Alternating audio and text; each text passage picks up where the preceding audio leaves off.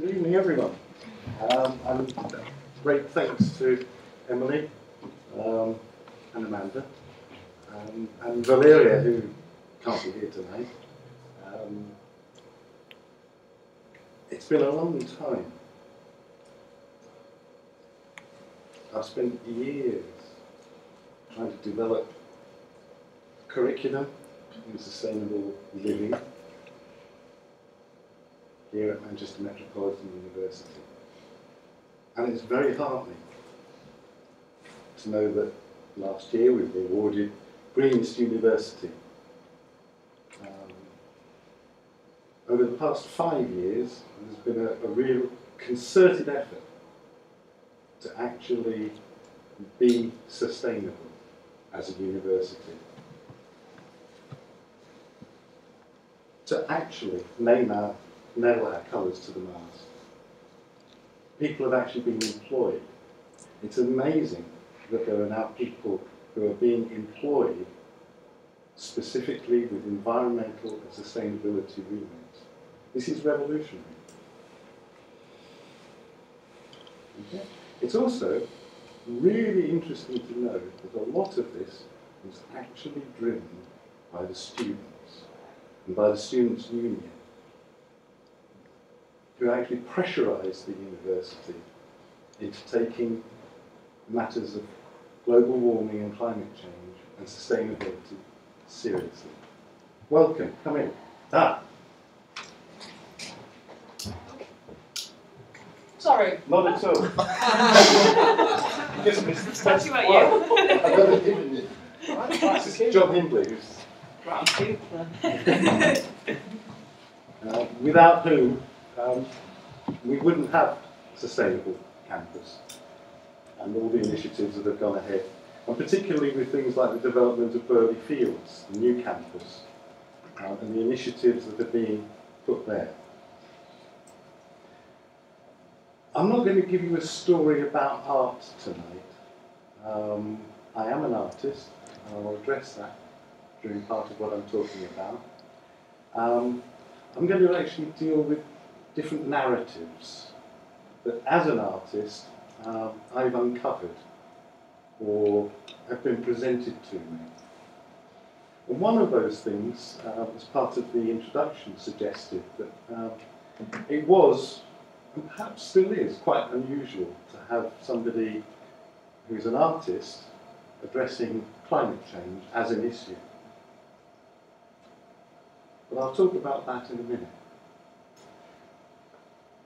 In 1984, Scottish artist Eduardo Paolozzi uh, had an exhibition at the Museum of Mankind in London. Uh, the exhibition was called Lost Magic Kingdoms. And the catalogue for that exhibition included um, a handwritten piece of script. And in that script, Paolozzi called for a change in thinking. And what he wrote was, um, what we need is a new culture in which way problems give way to capabilities. Um, it helps if you do it with a Scots accent, I'm not going to do that now, but the which way bit is a very Scots way of phrasing that. I like the idea that the problems were giving way to capabilities. Not only were they giving way, but they were actually showing the way to the capabilities. Um, so that idea of becoming capable in something uh, has become a kind of mantra for me over the years. During this hour, just under 50 minutes now. I'm going to try and create a dialogue with you, and I hope to be kind of a little bit interactive about that. Um, because I think that's the only way that we can actually change thinking. Me standing here and lecturing at you is not going to change very much at all.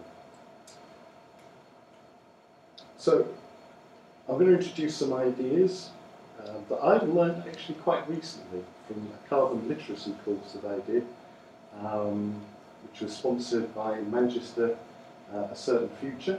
Uh, one of my colleagues here lost her. Oh, there. Um, and also um, some ideas of question-based learning that I developed by simply observing my arts students interacting with, civil engineering students some time ago. For me, it all started in 1992 with the Earth Summit. Uh, can I just ask how many people here have been born since 1992?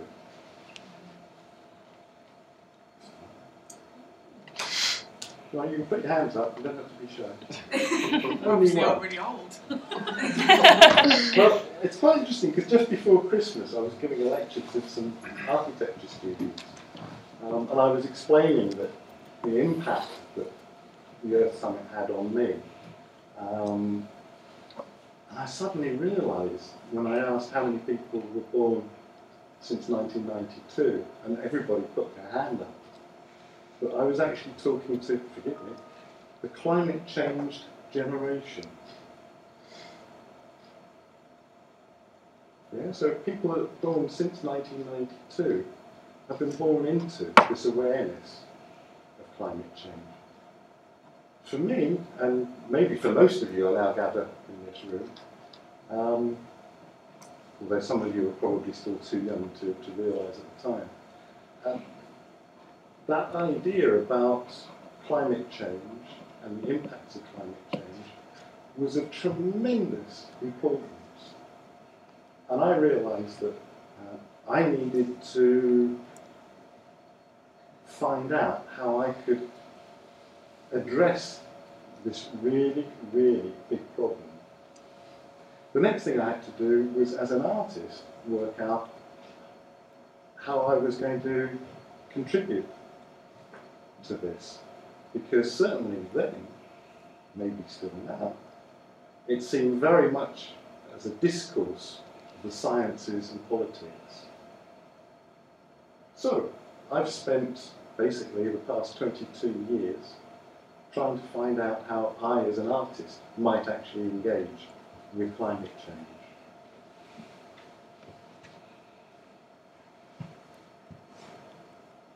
So that was a kind of starting point for me to sort of get onto this thing of what I might do as an artist.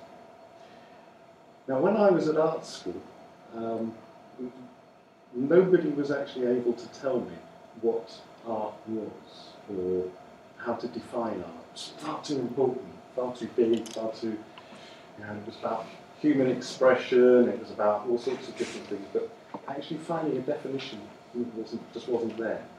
I'm going to whiz through some slides now to show you a definition or two. Oh, sorry, that's me. Anybody know where that is? Hey, well done. wow, that's that's like a record-breaking time. Ages working that out. You're Okay. walking that way tonight. Did, did you remember what the event was? So. Okay.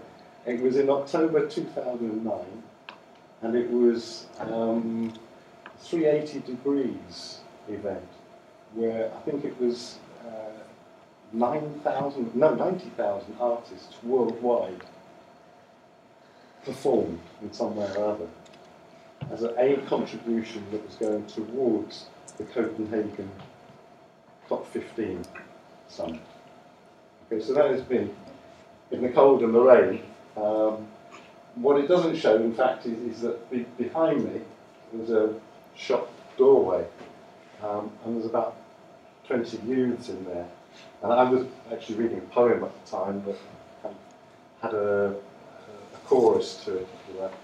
And there's these sort of 20 guys sort of doing this joining in.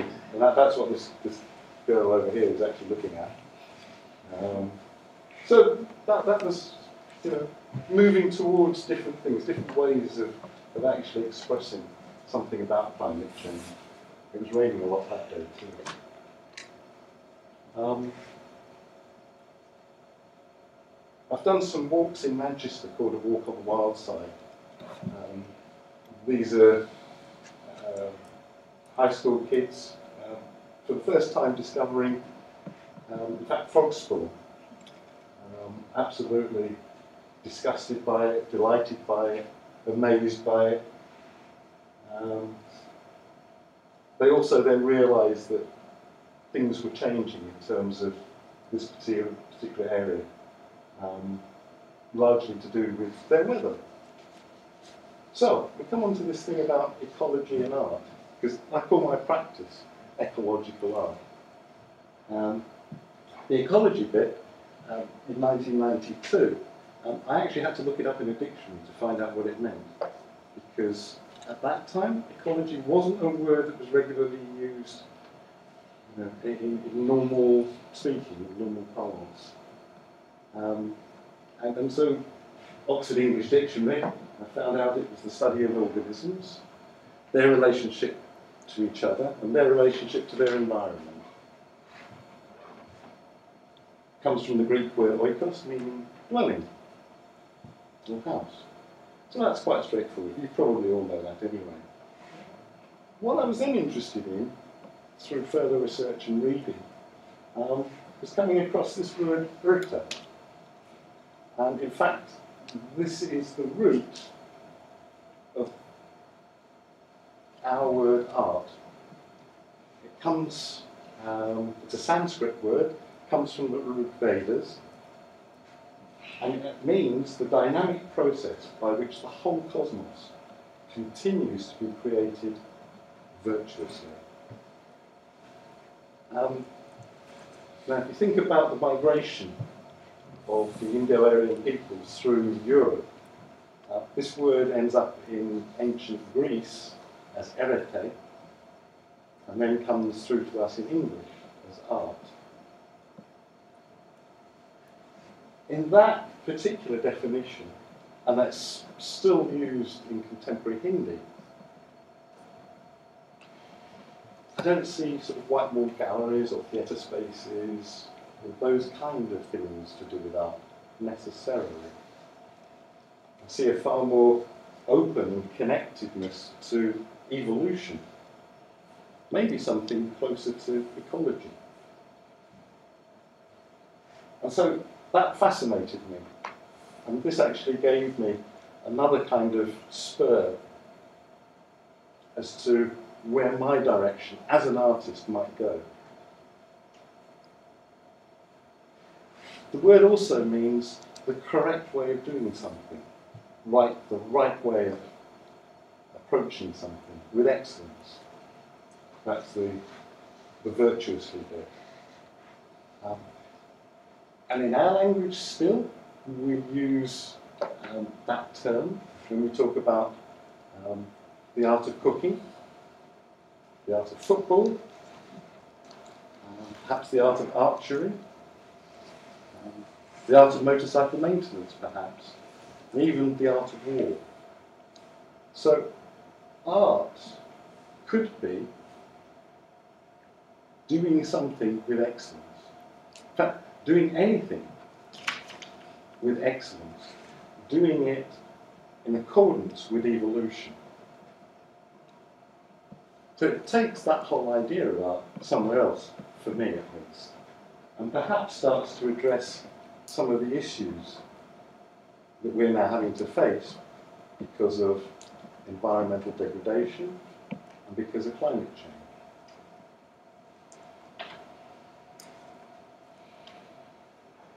David, sorry, can you just dim the lights because the slides are a bit. These are just background really, Oh, to be oh, okay. honest. Just curious. You can have the slides later if you want. It's a Sorry. prompt for me more than anything else. So, um, going back to the capable futures, I hope you can now start to see that there's a connection maybe between capable futures as opposed to sustainable development, which was a term that came out of the 1992 Rio Summit. That sustainable development in my opinion, was actually a lot more to do with maintaining the status quo of Western, Northern Hemisphere business. It was sustaining things. It's the way people in developed countries like to see them. Why would they want to change them? However, for people living in the south and developing countries, perhaps sustainable development is not such a good thing. Because actually, if you're living below the poverty line, which two thirds of the world's population is, then actually sustaining that level of poverty is downright bad news. So if we also think about the whole business of ecological footprints, carbon footprints, and who's actually producing the stuff, I, I don't think anybody seriously disputes the fact that human beings are producing the acceleration of climate change.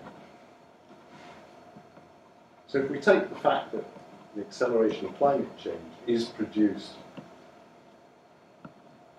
by the economics of our day, by the industry, by the commerce and business of our day,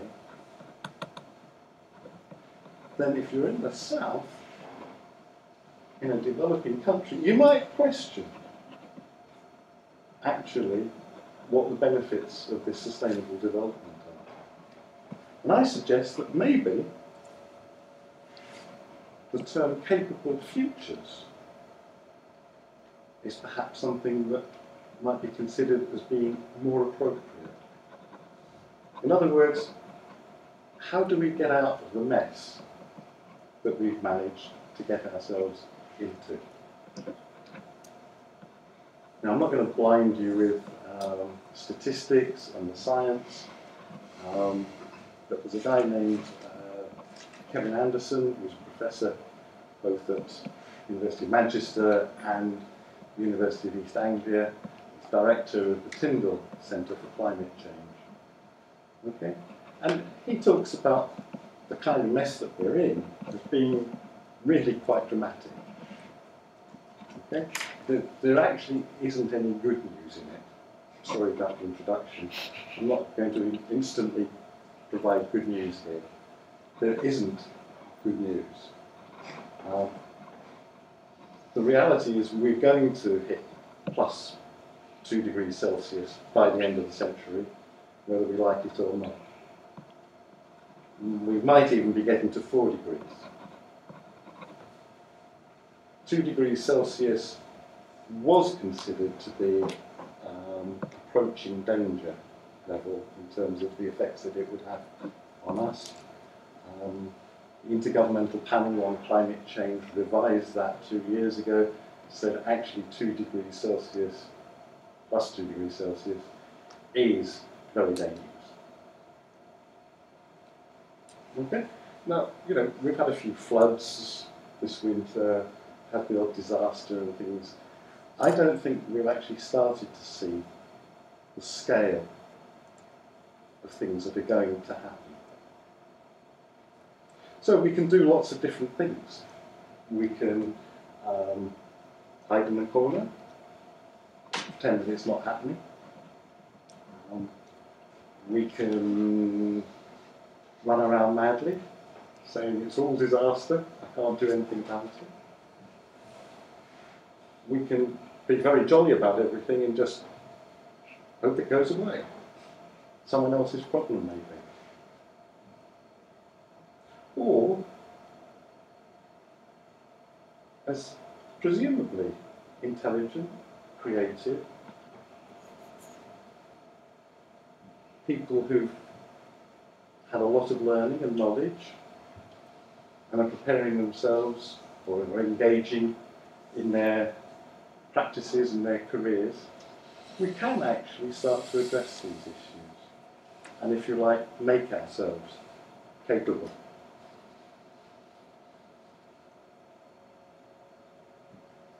So, there are two kind of things that I've, I've learned recently.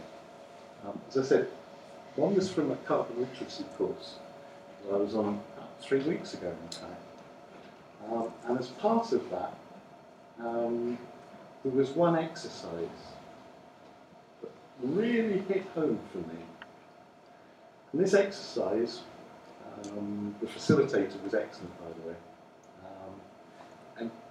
What we had to do was talk, face one other person and talk to them. But first of all, she said, one of you, in this case, I was the first person to do this, um, within our twosomes. Um, one of them is a councillor for Manchester City Council. The other one, oh, and sorry, the councillor is living in 2050. The other person is a person of today. And she said we had to close our eyes, we closed our eyes, and she gave us this um, description of how Manchester will be, how Manchester is in 2050. So, looking out of the window at Manchester in 2050, um, the first thing that we notice is that um, there are far fewer buses on Oxford Road. Buses that are there are all electric buses. We notice that actually uh, most of All Saints Park has now actually been turned over uh, to grow salads and vegetables and things that are served in the cafes and bars around the campus. Uh, we notice that actually behind the business school, where we are now, um, there's a wind farm. And all the energy from that is being used in the local area, probably at Birley Fields actually. Uh, we noticed that the solar panels that have been put on all the roofs throughout the whole campus, thank you John, are now in fact powering all the electricity within the campus because the technology has increased to such a degree that they're far more efficient. We noticed that um, actually the recycling bins are no longer needed because in fact most of the things that are being designed are designed without the packaging that was filling all the bins before. We find that people's clothing has actually been made from renewable materials. We see that, in fact, you know, the weather is still British weather. It is a little warmer, but it's okay.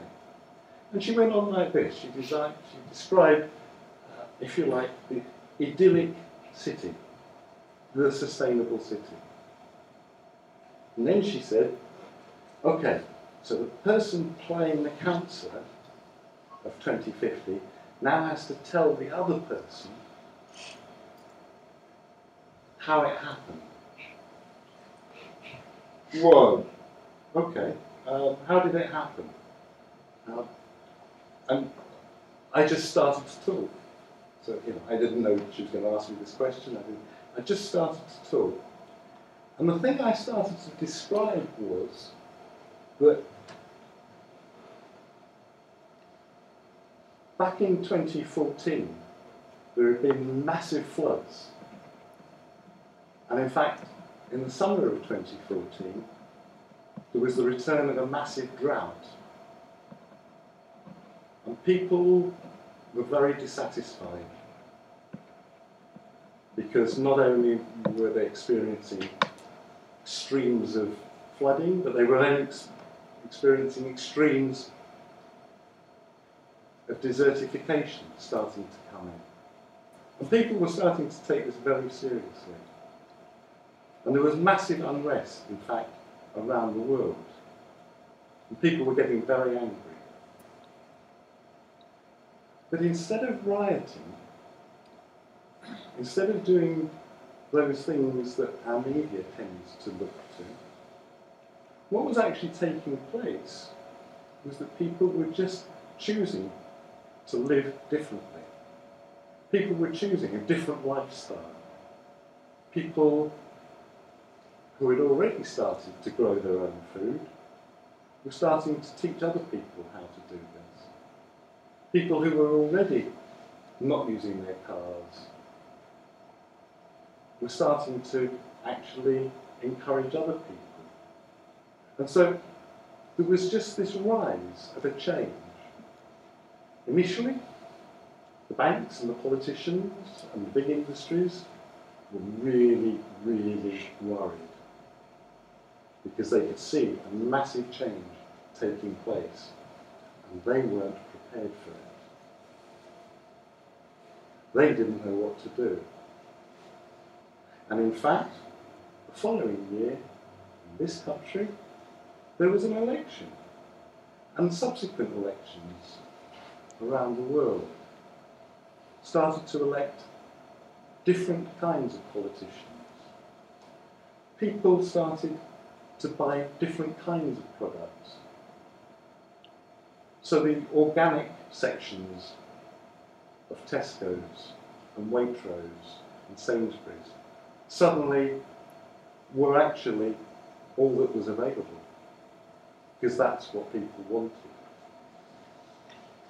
Anyway, I talked about this and it, and it, it sort of just struck me that um, actually I believe that there's a massive change taking place.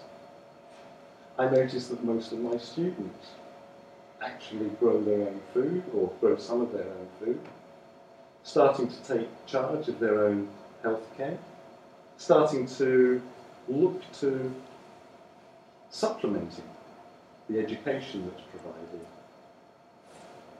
And I believe there's a massive change taking place already. And that's the good news. Because actually, that's where the capabilities come in to address the changes that we're going to experience. And it's also about actually having an embedded, experiential way of working with change. It's not about being told what to do, not about being made guilty, not about false hopes and things of that sort, but actually dealing with the issues.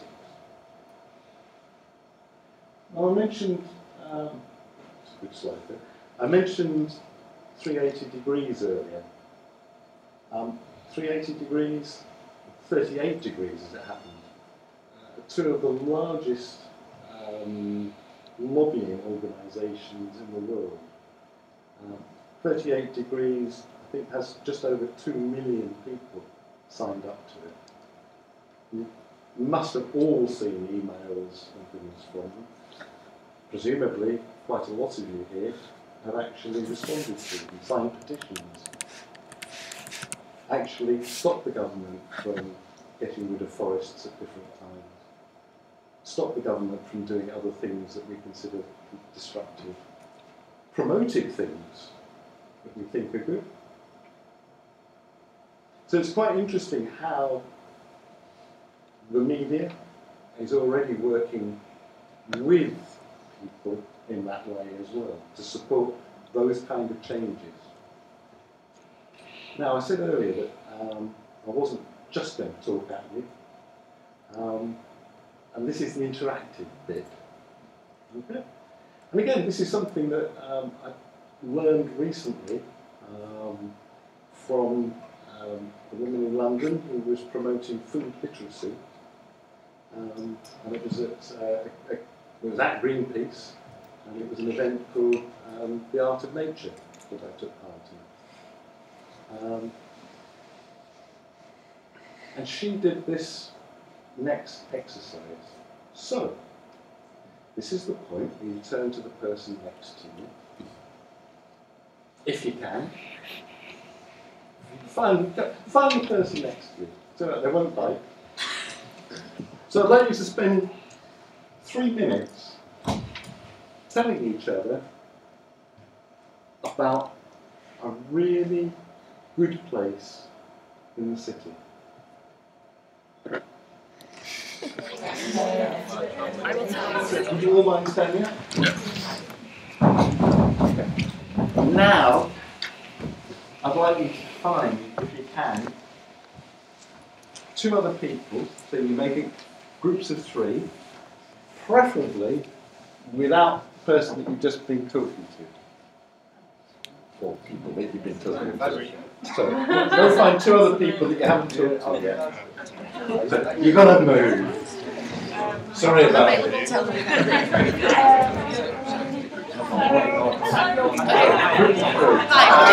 The three of you, I'd like you to tell each other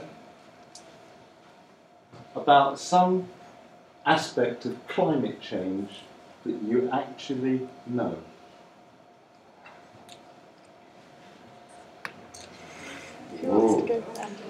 So, I'd like you to change around again. Find two people that you haven't talked to yet. I'm Virginia. Chris.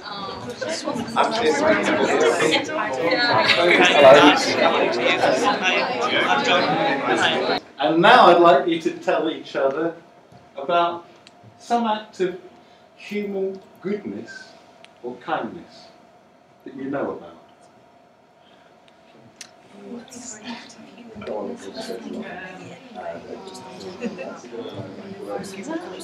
So, it's a good job it's the last question, or the last thing to consider.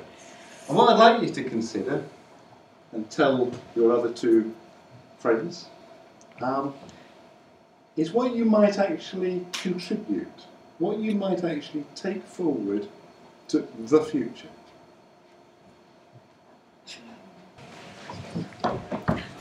Okay, um, it was very interesting, particularly that last one, where everybody went, what was I going to say? And then actually, that was the one where voices started to get louder and louder, and people were talking more and more. Okay, the reason for me doing this is not just so that I have a rest from speaking. Um, the idea behind it is that actually climate change is not something that's out there. Climate change is something that's in this room. And we have the capabilities of actually thinking about these things, talking to other people directly, strangers, about these things. And I believe we also have the capability of doing something about climate change. And it starts here, now. So you've just taken part in what is, on the one hand, an open space exercise. On the other hand, it's actually about your commitments, your ideas as to how you're going to go forward to the future. And hopefully make some changes. Okay? So, thank you.